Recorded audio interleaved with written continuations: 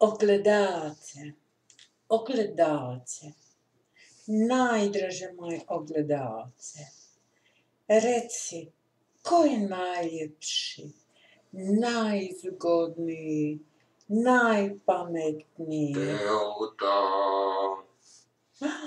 Što to čujem u daljini? Teuta je najljepša.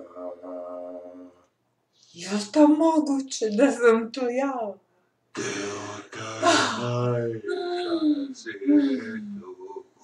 Dakle, nema više snjegurice, Nema nikoga ljepšeg od Teute.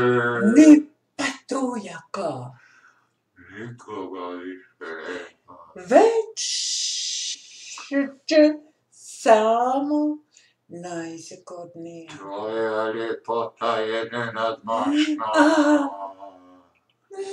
Au, hvala ti, drago ogledalce. Hvala ti. Vidimo se sutra.